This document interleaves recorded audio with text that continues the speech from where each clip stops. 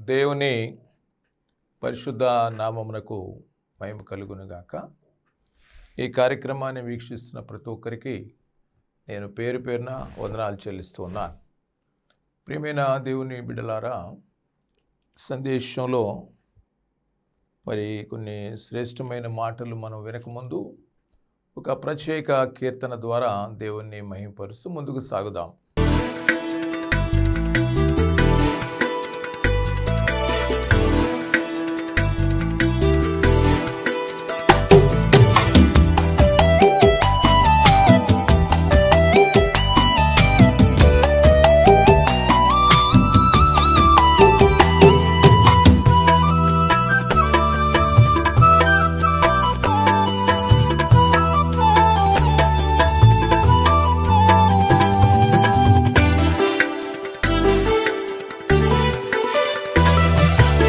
స్థుతులపై ఆసీనుడా. స్తోత్రించెదా నిన్ను స్థుతులపై ఆసీనుడా. అందుకో నా స్థుతి మాలిక నా పేద హృదయ గీతిక. అందుకో నా స్థుతి మాలిక నా పేద హృదయ గీతిక. స్థుతులపై ఆసీనుడా. స్తోత్రించెదా నిన్ను. స్థుతులపై ఆసీనుడా.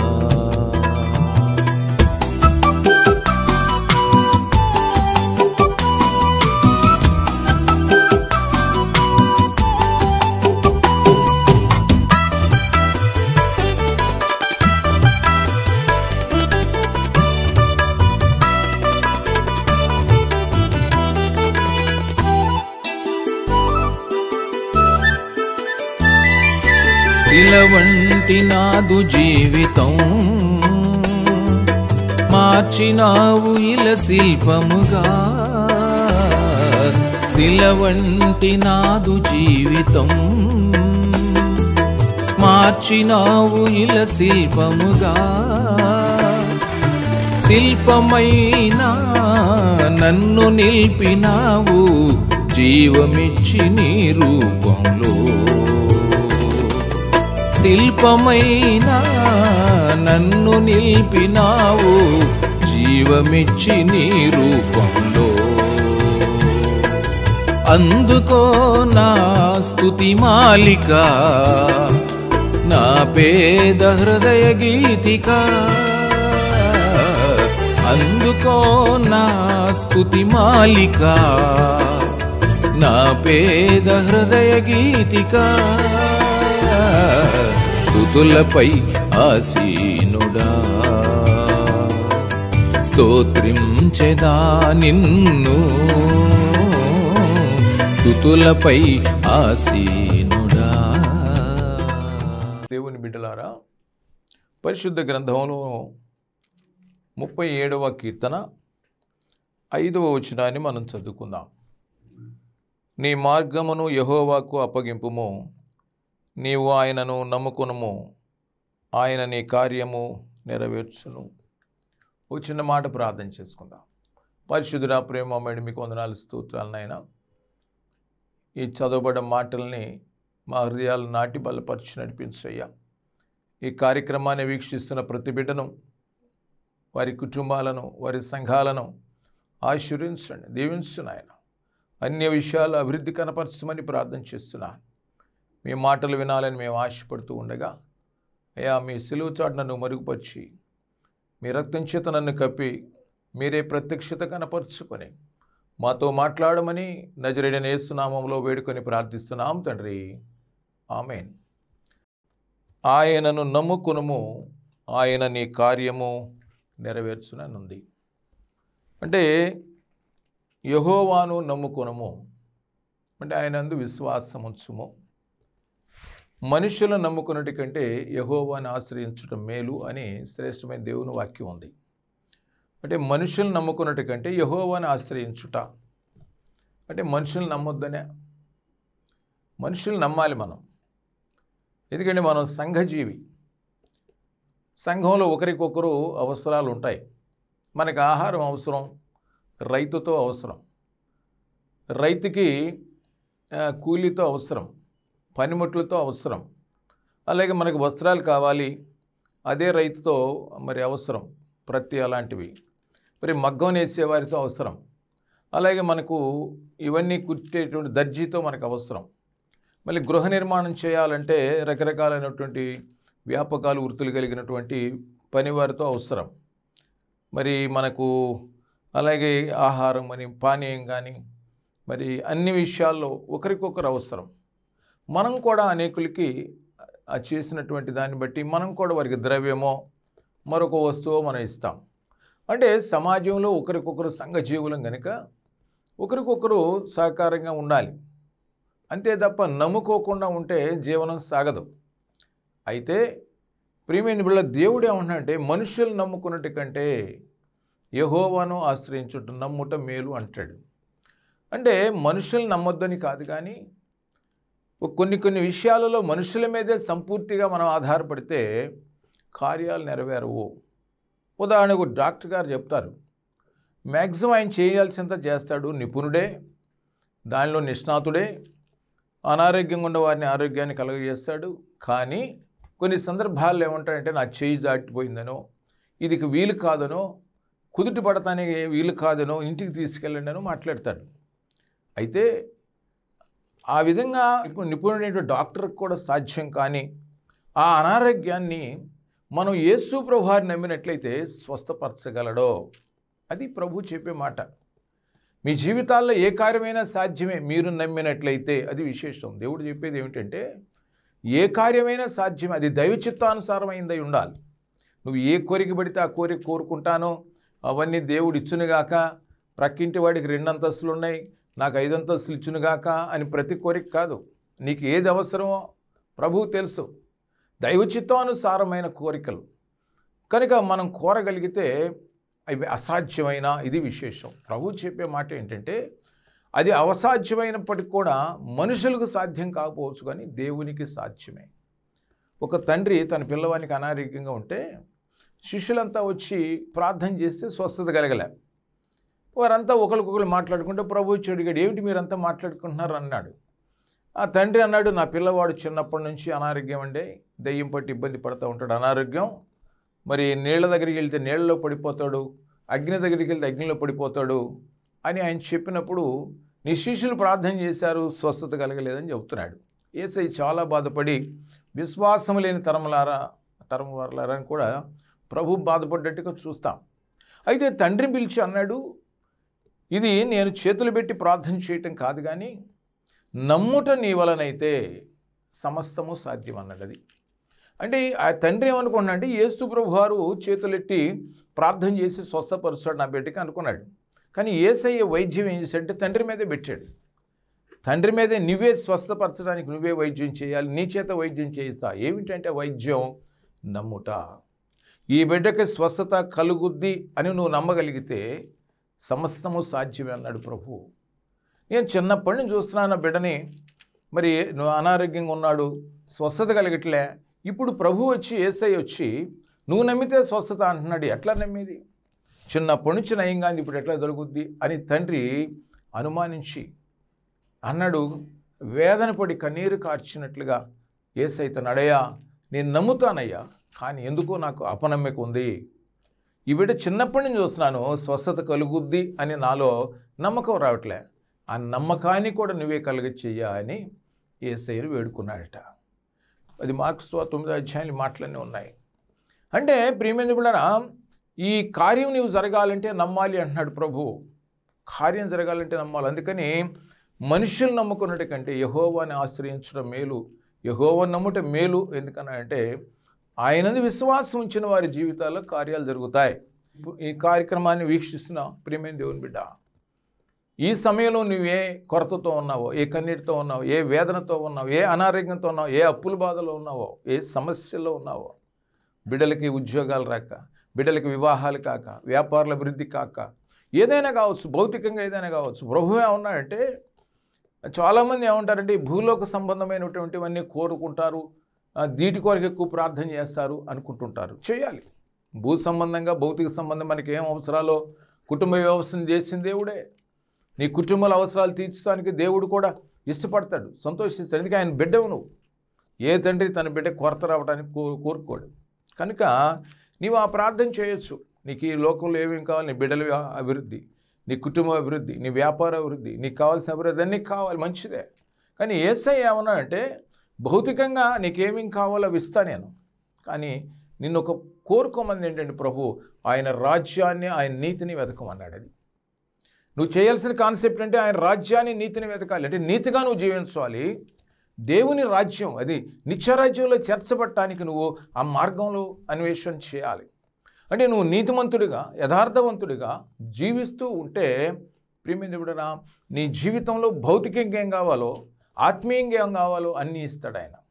నీ నా రాజ్యాన్ని నా నీతిని వెతకండి. అవి అనుగ్రహిస్తాను. భూలోకంలో మీకేం అవసరాలో? మీ కుటుంబంలో ఏం అవసరాలో? అవి కూడా ఇస్తానన్నాడు ప్రభు. తప్పులే.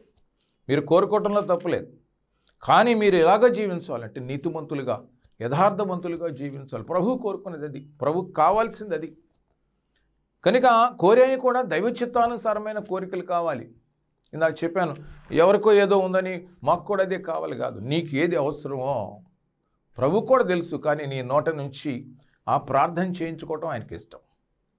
ప్రియమైన దేవుని బిడ్డలారా కనుక మనుషులు నమ్ముకున్నట్టు కంటే యహోవాను ఆశ్రయించుట. ఆ తండ్రి వారిని వీరిని అడిగాడు కానీ యేసు ప్రోహారు వచ్చామనంటే నమ్మిక ఉంచు కార్యం జరుగుద్ది.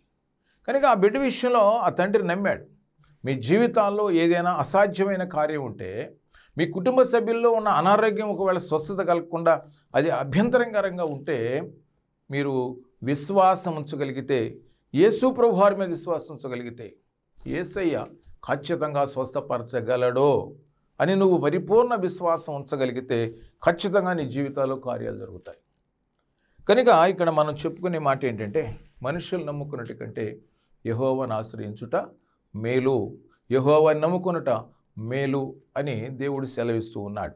ఆయన ఏం మేలు అనేది మనం ముప్పై ఏడవ కీర్తన ఐదవ వచనంలో చదువుకున్నాం. నీ మార్గమును యహోవాకు అప్పగింపుము నీవు ఆయనను నమ్ముకునుము ఆయన నీ కార్యము నెరవేర్చును. ఆయన నమ్ముకుంటే జరిగే కార్యాలు ఒక ఏడు కార్యాలు మీకు జ్ఞాపం చేస్తాను. ప్రభువుని మీరు నమ్ముకుంటే ఏసైని మీరు ఆశ్రయిస్తే ఆయనందు విశ్వాసం ఉంచితే మీ జీవితాల్లో జరిగే కార్యాలు ఒక ఏడు కార్యాలు ఏమిటంటే నీ కార్యము నెరవేర్చును.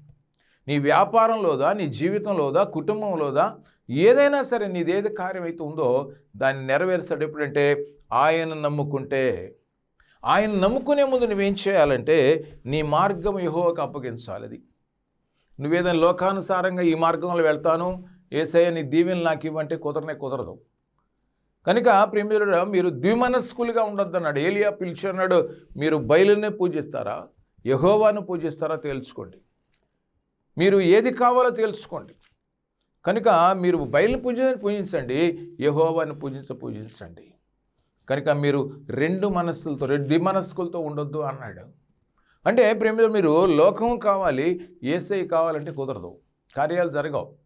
యహోవాన్ని నమ్ముకుంటే ఏసైని నమ్ముకుంటే మీ కార్యాలు జరుగుతాయి. ఏ కార్యమైనా కానీ ప్రియమిందుడరా ఆయన నమ్ముకున్నప్పుడు మీ కార్యాలు జరుగుతాయి. రక్తస్రావం కలిగిన రోగి. మనందరూ తెలుసు పన్నెండు సంవత్సరాల నుంచి అనారోగ్యం. అనేకులు సంప్రదించినట్టుగా చూస్తాం. ఎక్కడ స్వస్థత కలగ పన్నెండేళ్ళు. కానీ ఆమె ఏమనుకుందంటే యేసుక్రీస్తు ప్రభు వారి వస్త్రపు చెంగు నేను ముట్టుకుంటే నమ్మింది. విశ్వసించింది. ఆయన మీద నమ్మకం ఉంచింది. అయితే ఆయన ముందరికి వెళ్ళి ముట్టుకోవటానికి భయం వేసి వెనక నుంచి ఆయన వస్త్రాలు ముట్టుకుని స్వస్థత పొందుకుంది. యేసు ప్రభు అన్నాడు ఎవరో నన్ను ముట్టుకున్నారో నాలని ప్రభావం వెళ్ళిపోయింది అన్నాడు కానీ ప్రభువు తెలుసు. వారిని స్వస్థత పొందిన వారిని ముందుకు పిలిచి వారి చేత సాక్ష్యం చెప్పించి అనేకులను బలపరచాలని ప్రభు యొక్క చిత్తం తెలియక కాదు. మన తల వెంట్రుకలు కూడా లెక్కించగలిగిన ప్రభువుకి ఎక్కడ ఏం జరుగుతున్నాయో చెప్పగలడు. సమస్తము సర్వంతర్యామి ఆయన. కనుక ఆమె వస్త్రపు చెంగు ముట్టుకొని స్వస్థ పొందుకో ప్రభు ముందుకు ఉంది అయ్యా నేనేనయ్యా నీ వస్త్రపు చెంగు ముట్టుకున్నాను. నీ వస్త్రపు చెంగు ముట్టుకుంటే నాకు స్వస్థత కలుగుద్దని నమ్మి నమ్మి ముట్టుకున్నాను. స్వస్థత కలిగింది అన్నాడు. ఏసై అక్కడ అంటున్నాడు అమ్మా నీ విశ్వాసమే నిన్ను స్వస్థపరిచి అంటే ఆమె జీవితంలో కార్యం ఎలా జరిగిందంటే నమ్మటం వల్ల జరిగింది. వైద్యుల దగ్గరికి కూడా వెళ్ళింది కాలే. రకరకాల ఔషధాలు వాడింది కాలే. కనుక రకరకాల మెడిసిన్స్ అన్నీ కూడా వాడింది కాలే. అనేక మందిని సంప్రదించింది ఆమె కాలే. కానీ యేసుక్రీస్తునందు విశ్వాసం ఉంచి వస్త్రపు చెంగు ముట్టుకున్నప్పుడు ఆమె యొక్క స్వస్థత కార్యం జరిగింది ఆమెకి. కనుక ప్రియమైన దేవుని బిడ్డారా మీకు కార్యాలు జరగాలంటే యేసు ప్రభు అన్నాడు నా నా యందు మీరును మీ యందు నా మాటలు నిలిచి ఉండి అని మీకు ఏది అవసరమో నన్ను అడుగుడి నిశ్చయముగా మీకు అనుగ్రహించబడి అన్నాడు.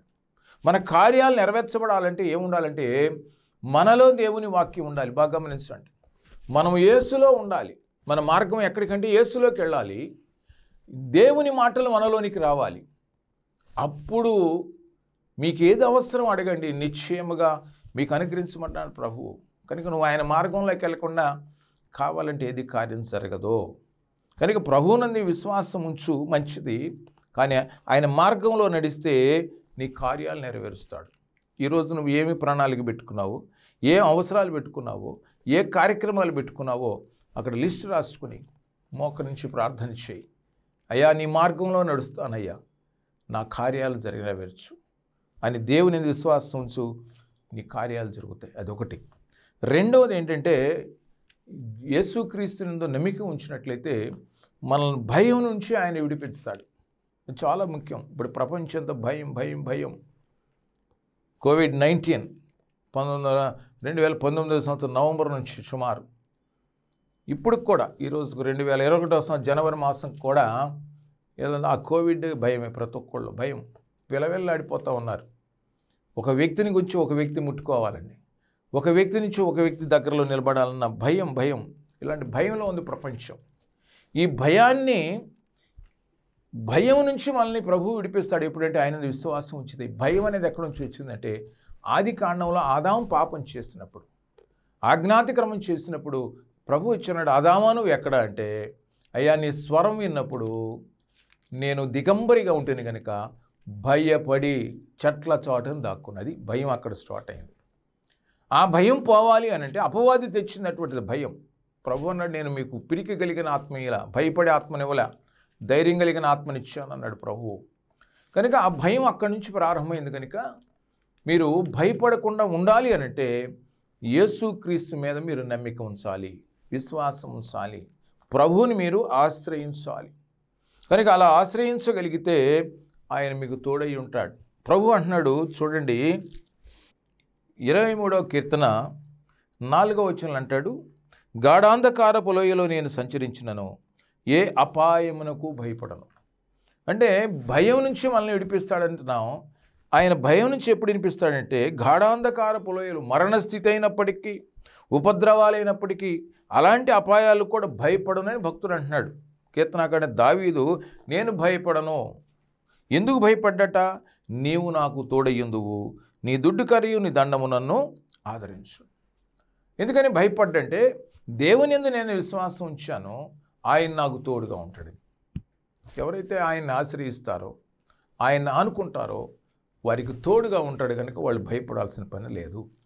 ఎప్పుడైతే లోకం మీద ఆధారపడతాడో అపవాది ఏం చేస్తాడంటే లోకానుసారమైన కార్యాలు మంచి చేయించి లోకానికి సంబంధించినటువంటి ఉపద్రవాల్లో మనల్ని నడిపించి అనేక మోసాల్లో దొంగతనాల్లో మరి లోకానుసారమైన కార్యాలు మనల్ని నడిపించి నేరస్తులుగా మనల్ని చేసి వాటి ద్వారా మన హృదయాల్లో భయం కలిగించి చివరికి వీలైతే ఆత్మహత్యలు కూడా చేసుకునే అంత భయాన్ని కలిగించి భయంలో నడిపిస్తూ ఉన్నాడు.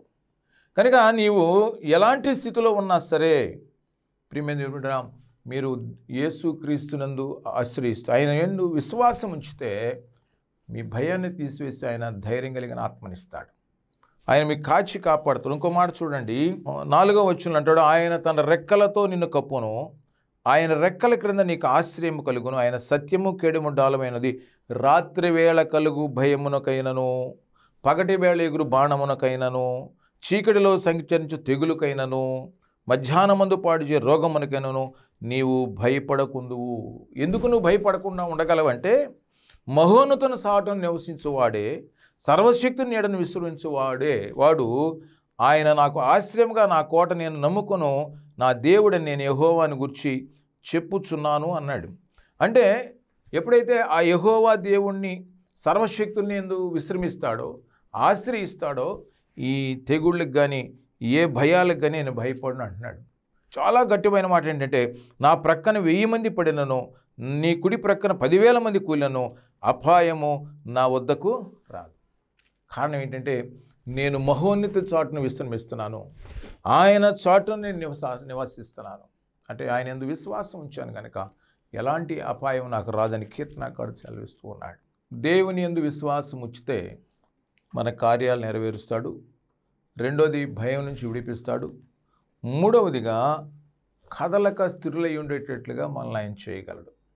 ఎవరైతే ఆయన విశ్వాసం ఉంచుతారో వాళ్ళు కదలక మరి స్థిరంగా ఉండేటట్లుగా చేయగలరు. కీర్తనల గ్రంథము నూట ఇరవై ఐదో కీర్తన మొదటి వచ్చిన యహోవా ఎందు నమ్మికించు వారు కదలక నిత్యము నిలుచు సియోను కొండవలే ఉందురు.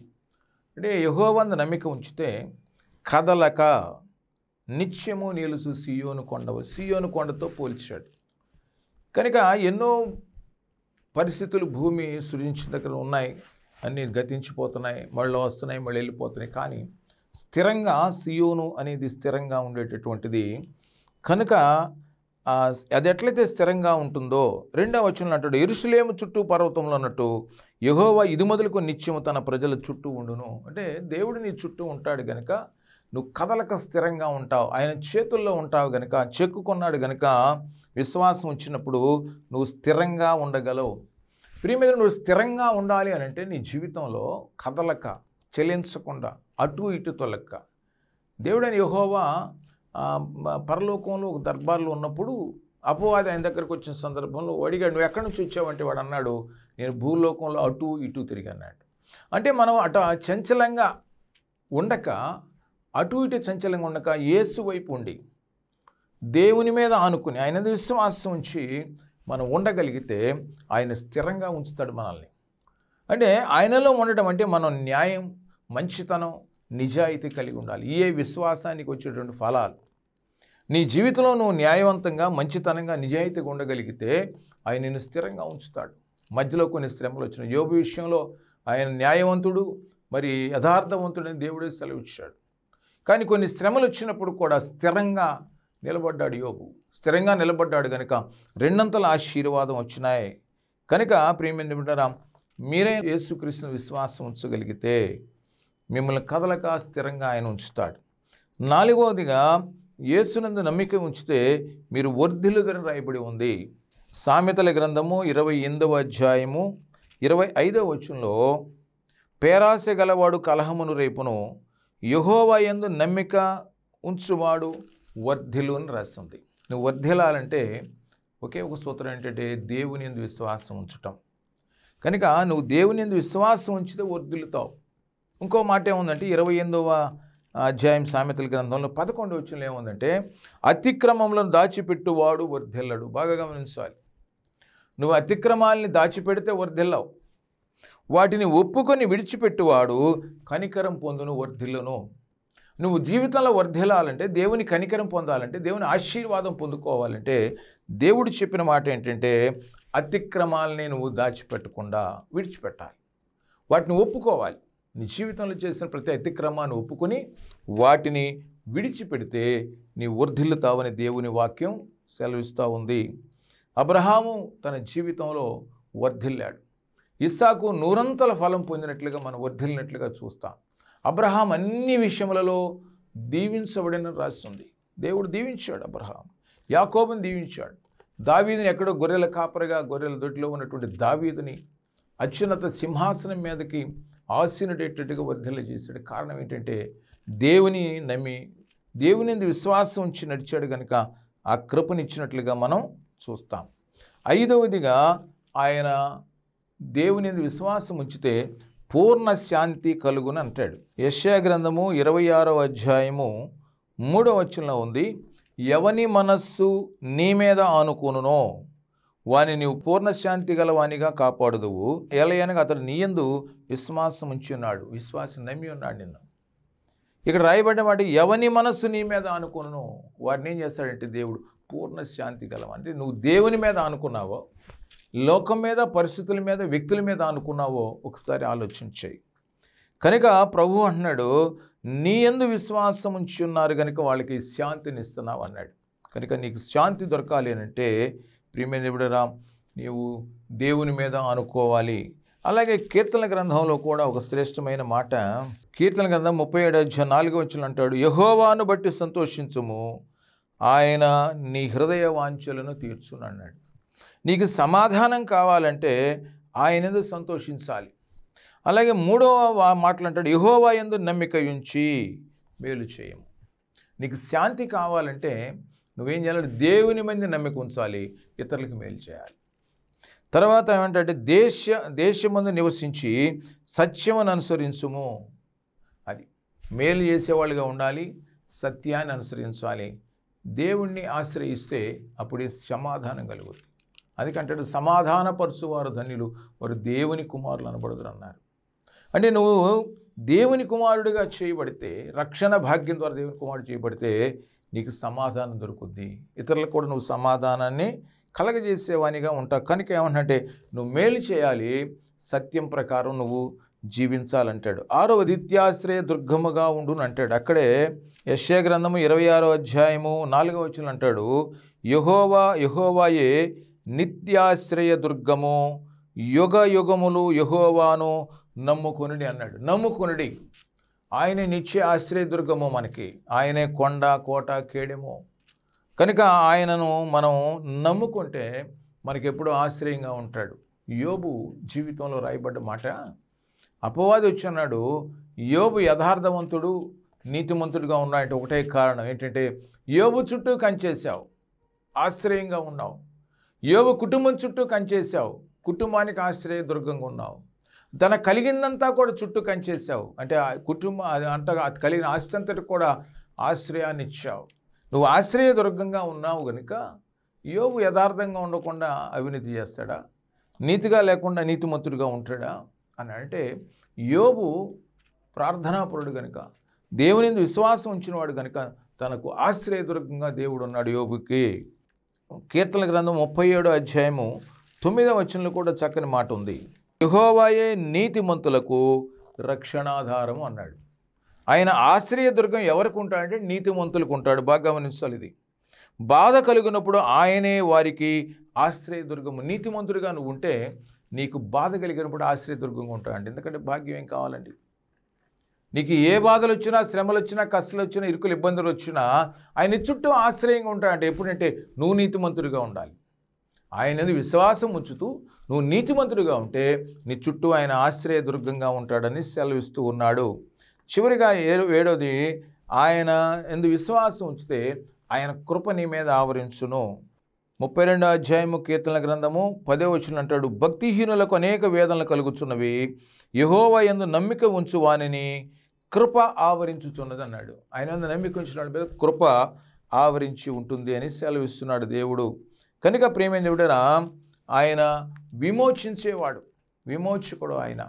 కనుక ఎవరైతే ఆయన విశ్వాసం ఉంచుతారో ఆయన కృప చేత రక్షించబడతారు. ఆయన నమ్మిక ఉంచాలి. నమ్మి బాప్తీసం పొందినవాడు రక్షించబడని రాస్తుంది. అంటే ప్రభువు నమ్మి బాప్తీసం పొందాలి. పొందితే రక్షణ. రక్షణ అనేది కృప. ఆ రక్షణ భాగ్యం నేను నిశ్చయ జీవాన్ని చేర్చుద్ది. ప్రేమైన దేవుని బిడ్డారా? యేసుక్రీస్తుని నువ్వు విశ్వసించాలి. కారణం ఏంటంటే ఆయన ఈ లోకంలోకి నీ కోసం పరిశుద్ధుడిగా వచ్చి పరిశుద్ధుడిగా జీవించి పరిశుద్ధ రక్తాన్ని సెలవులో చెందించాడు. ఆయన నువ్వేమీ ఆయనకు చెల్లించకపోయినా ఆయన విలువైన రక్తాన్ని చెల్లించి నీ కొరకు విమోచన కార్యాన్ని చేశాడు. అందును బయట ఆయన ఆయన విశ్వసించాలి. అందును బయట ఆయన ఆయన ప్రేమించాలి. అందును బయట నువ్వు ఆరాధన చేయాలి. కనుక యేసు క్రీస్తు నీ కొరకు ప్రాణం పెట్టాడు కనుక నీ విరిగి నలిగిన మనస్సుతో పశ్చాత్తాప మనసుతో ఆయన ఎందు విశ్వాసం ఉంచి ఆయన ఆరాధన చేస్తే నీవన్ని విషయాలలో వర్ధిల్లుతావు. దేవుడు మిమ్మలను దీవించునుగాక. ఆమెన్.